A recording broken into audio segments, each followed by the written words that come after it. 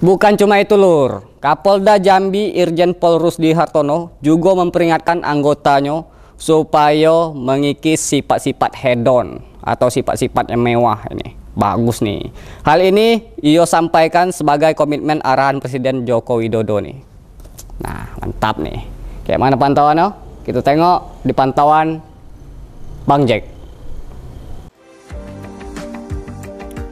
Resmi menjabat sebagai Kapolda Jambi, Irjen Pol Rusdi Hartono berkomitmen menanggapi arahan Presiden Joko Widodo terkait gaya hidup anggota Polri yang mewah.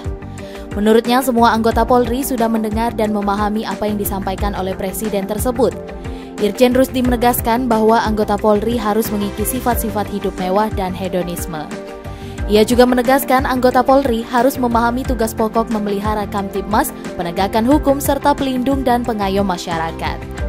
Ia menegaskan akan melakukan tindakan penegakan hukum bagi anggotanya yang bekerja tidak sesuai dengan aturan yang ada di institusi Polri. Memahami semua dalam situasi situasi kondisi seperti ini kita harus mulai mengikis ya sifat-sifat hedon seperti itu harus sudah dan saya rasa seluruh anggota Polri mendengar dan siap melaksanakan apa yang disampaikan oleh Bapak Presiden. Mudah-mudahan ya situasi Polri di Polda Jambi akan semakin baik. Oke.